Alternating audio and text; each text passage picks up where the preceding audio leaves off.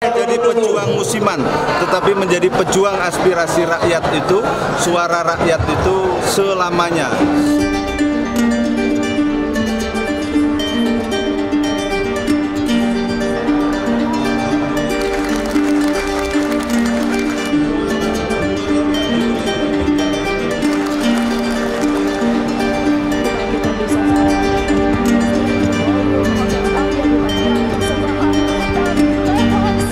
Pesan yang paling pokok adalah eh, berjuang keras Bapak Ibu sekalian kami mencapai kemenangan dan setelah menang harus setia memperjuangkan aspirasi rakyat itu Silakan, selamanya. Bapak Ibu, tidak boleh jadi pejuang musiman tetapi menjadi pejuang aspirasi rakyat itu suara rakyat itu selamanya setia setiap saat kira-kira